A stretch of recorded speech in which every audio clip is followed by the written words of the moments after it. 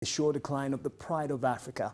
Kenya Airways has been flying right into turbulence as an internal performance report showed it was spending millions of shillings to pay for accommodation for passengers whose flight schedules have been disrupted. Now, the report that reviewed the period between January and August shows that KQ lost up to 100 million shillings to settle these claims. NTV's Kevin Mutai reports in the troubles facing the struggling airline. The national carrier, the pride of Africa, is now almost a crying shame. Once again, the airline is flying into turbulence as flight delays and cancellations eats into its earnings. The airline has had to dig deeper to pay for accommodation for affected passengers, amounts that now run into millions of shillings. According to an internal performance report seen by NTV, a total of 542 flights have been cancelled since January this year. This has forced the airline to spend at least 118 million shillings to accommodate affected passengers.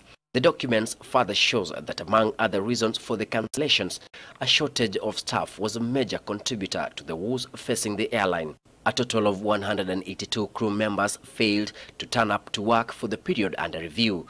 There were 152 cases of grounded aircrafts commercial reasons, and the prevailing political situation in the country were also to blame for the flight cancellations. The data also shows that out of 35,000 successful departures for the last eight months, 22,426 were on time, whereas more than 2,800 flights have suffered a delay of more than an hour. Sources within the airline also say pilots are to blame amid claims that they have been boycotting duty and shielding themselves with a deal signed under the collective bargaining agreement. According to the Kenya Airline Pilots Association, the CBA does not allow the airline to recruit more pilots, leaving only 430 of them to operate the national carrier's fleet.